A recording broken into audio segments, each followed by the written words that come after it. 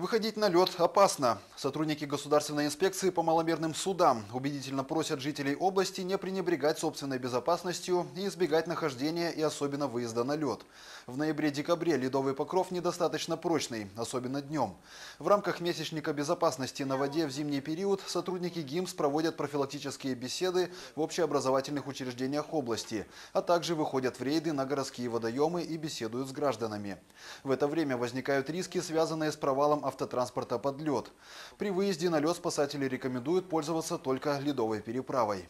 Наше законодательство российское предусматривает за данный вид нарушения выезд э, на лед административное нак- наказание в виде штрафа от чет- от 3 до спо- до 4,5 тысяч рублей. И данный вид штрафа уже был по данному виду наказания уже был привлечен нерадивый автовладелец рыбак в Ленинском районе. Значит, э, сотрудники рыбохраны, которые участвовали в наших мероприятиях, составили, составили соответствующий административный протокол и вынесли соответствующее решение.